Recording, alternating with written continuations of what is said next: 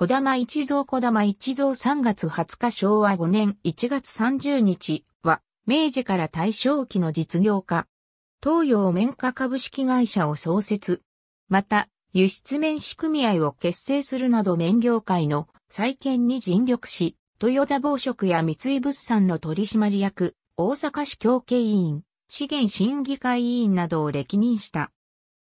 豊田利三郎トヨタ自動車工業初代社長は実定。小玉一蔵は、明治14年3月20日に、滋賀県犬上郡彦根町大技競り橋で、小玉定次郎と、美瑛の子として誕生した。父貞次郎は、美濃国養老郡の高木理衛門の子で、長浜の小玉助三郎の養子となり、エバ友さんの娘美瑛と結婚した後、彦根藩足軽の株を買い、明治維新後は、家屋の壊し屋を家業としていた。一蔵は少年時安泊で彦根尋常小学校3年時に先生に墨壺を投げつけたことから対抗処分となった。このため一時愛知県知多郡大谷村の叔父、竹内倉太郎に預けられ、大谷村立大谷尋常小学校に通い、国語の朗読の時間に大見りを現れたところ、かえって大きな声で大見りの朗読を行ったとの逸話が残されている。3ヶ月で復興を許され、彦根尋常小学校に戻った。わんぱくであったが学業は作文で賞を取り、成績も学年ごとに優等賞を受けるなど、すこぶる優秀だった。明治28年彦根高等尋常小学校を卒業後名古屋市内の菓子商に、デッチ暴行に出たが、仕事が合わずすぐに辞め実家に戻った。そこで、たまたま行員を募集していた近江銀行の採用試験を受け、同行に就職し掛け金回収を担当した。近江銀行時代、責任ある仕事を行うためには、学歴が必要と痛感し、銀行業務の傍ら、大成学館に通い日夜を惜しみ勉強した。明治31年滋賀県立商業学校を訪問し、当時の旗の校長に面会の上、卒業試験に応じたいとの前代未聞の申し入れを行った。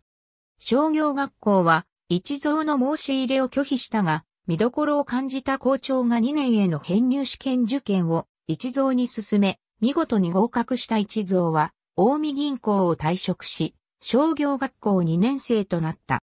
商業学校時代の一蔵の話として、毎年恒例で行われた大日本探偵競争大会に商業学校で売店を出し、大いに好評を得たこと。当時学生による教師ボイコットのストライキが行われていたが、英語のスプーナー共有排斥ストライキにおいて、ただ一人同調せず猛然と反対したこと。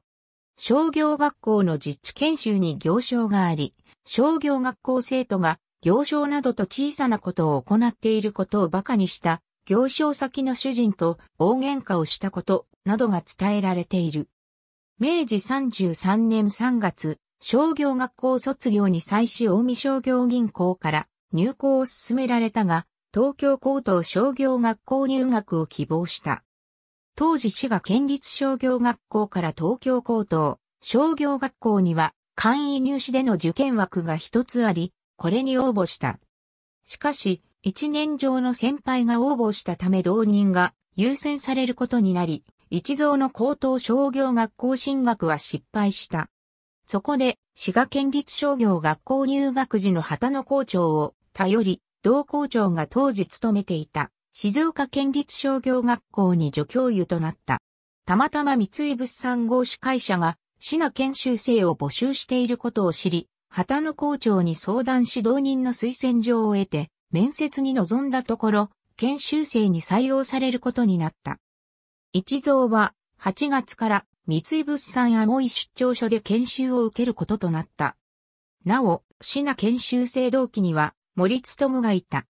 当時アモイにはジャーディン・マセソン紹介の事務所があり、彼らが流暢な中国語で商売する姿を見て、商売をするためには自由に中国語ができなければ話にならないと悟り、一蔵は家庭教師を雇い、街中の中国人とも頻繁に話をして中国語と台湾語を身につけた。研修1年で三井物産に本採用されると、若手で中国語に寛能な社員として知られるようになった。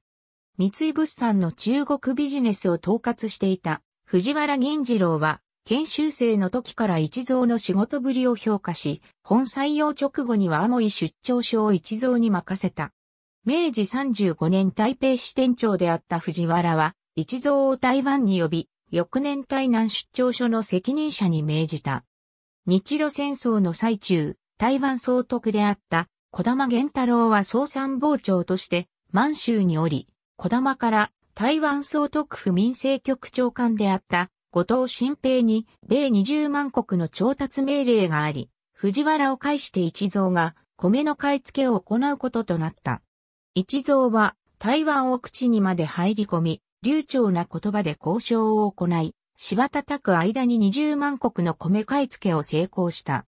また、当時台湾発展のためには、政党事業が重要との認識が官民一体としてあり、一蔵は自分の仕事ではないが進んで政党会社の土地買収に協力していた。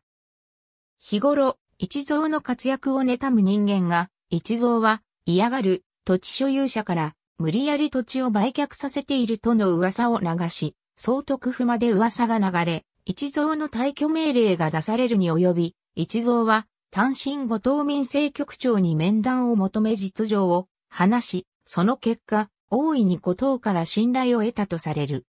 中国での仕事を評価され、明治38年6月ロンドン支店勤務を命じられ、ドイツハンブルク出張所長となった。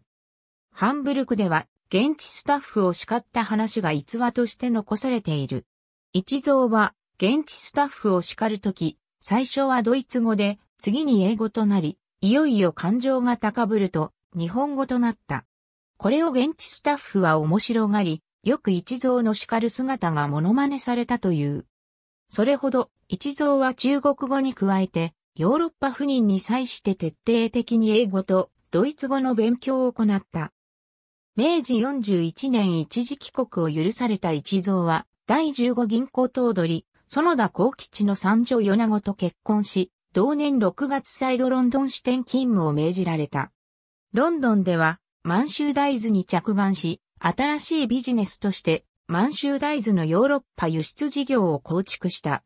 大正元年8月ロンドンより帰国し、12月にはわずか31歳で名古屋支店長を命じられた。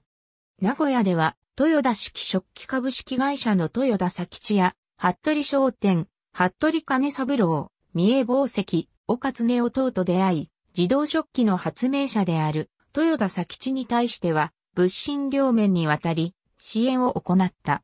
後に、豊田佐吉は、一蔵の弟、李三郎を、婿養子に迎え入れた。また、岡津ネオは、一蔵の異彩に注目し、大阪麺業界に進出することを強く後押しした。大正3年2月、岡津ネオの強い推薦もあり、大阪支店麺課部長に就任した。ここでも一蔵の語学力は大いにつき、大正8年にアメリカテキサス州ダラスを中心として出張に行った際は現地被害者社員を前に演説し、またビッグボスと呼ばれ社員の心を掴んだ。この頃、前年に第一次世界大戦が終結し、各国経済は不況となりつつあった。綿花相場も乱高下の危険性高く、一蔵は三井物産本社から相場リスクにさらされている、綿花部門を切り離すべきとの考えを持ち、大正9年4月三井物産綿花部を独立し、東洋綿花を設立し、専務取締役に就任した。自社の業務に精霊するばかりでなく、綿花関連事業全体の発展にも精力的に一蔵は活動した。世界恐慌を前に、綿花事業者が金融からの信用力を得られ、かつ輸出事業をより促進させるために、綿紙輸出組合を設立にも奔走した。会長就任後の昭和2年にインド視察に赴き、日印間の無電開通にも一役買った。関西綿紙業界、財界で幅広く活躍し、豊田宝飾、三井物産取締役等を兼ね、様々な公職を歴任するとともに、故郷滋賀県における県立工業学校や彦根高等、商業学校建設にも尽力した。これらの活動が認められ、大正14年に根樹法賞を受賞し、昭和3年には、訓四等髄法賞を受勲した。昭和5年1月10日、東洋面下会長として株主総会を収めた後、1月20日腹痛に襲われ一時は持ち直したが1月30日に急逝した。死因は胃潰瘍。略年譜。ありがとうございます。